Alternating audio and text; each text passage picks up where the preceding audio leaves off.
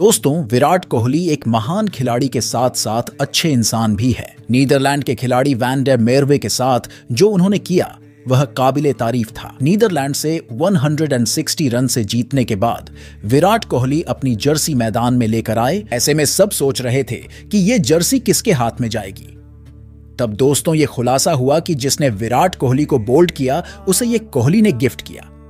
जी हाँ, दोस्तों, van der Merwe को कोहली के हाथों से जर्सी मिली।